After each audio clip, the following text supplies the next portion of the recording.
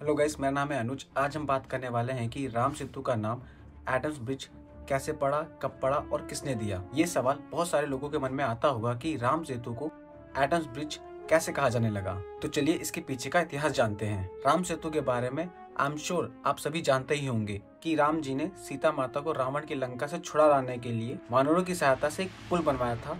जिसे राम सेतु कहा जाता है, जो कि वाल्मीकि रामायण में वर्णित भी है। और अगर मैं बाहरी उल्लेखों की बात करूँ तो कथित तौर पर इस मानव निर्मित ब्रिज का पहला उल्लेख ईयर 850 के आसपास में इब्न खुरदादबे की books of roads and kingdoms में पाया गया था, जिसमें इस ब्रिज को सेट बंदाई के नाम से मेंशन किया गया था, जिसका अर्थ होता है ब्रिज ऑफ़ सी। इसके बाद एक ईरानियन स्कॉलर हुए अलब्रूनी। इसने अपनी बुक तारीखल हिंद, जिसका अर्थ होता है भारत का इतिहास, लिखी, जिसमें शायद ऐसा माना जाता है कि पहली बार इस ब्रिज को एटम्स ब्रिज कहा गया। तब से इसे कई नामों से जाना जाता है, जैसे सेट बंदाई जिसका अर्थ है समुद्र का पुल, एडम का पुल इत्यादि। कुछ स्रोतों के अनुसार, एडम को प्रथम मानव माना जाता है, जिसे ईडन गार्डन या ईश्वर के गार्डन, जो कि बाइबल में स्वर्ग है, वहाँ से निकाले जाने के बाद माना जाता है कि वो पृथ्वी पर श्रीलंका में एक पहाड़ पर गिरा जो एडम्स पीक कहा गया।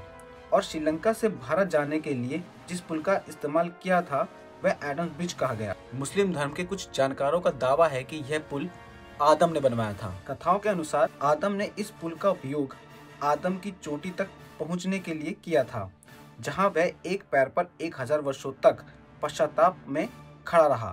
तो ये बात हुई एडम या आदम नाम की।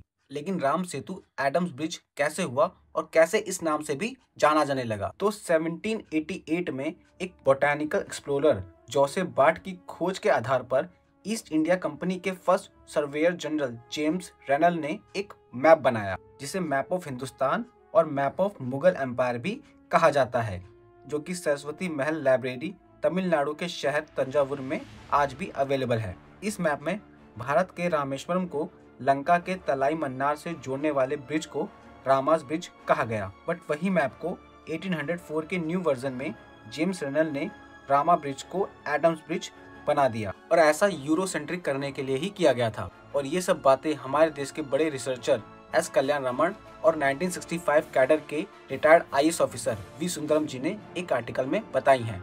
आई होप ये वीडियो आपको इन्फॉर्मेटिव लगी हो। ऐसी और इन्फॉर्मेटिव वीडियोस के लिए please like share and subscribe my channel thank you and जय श्री राम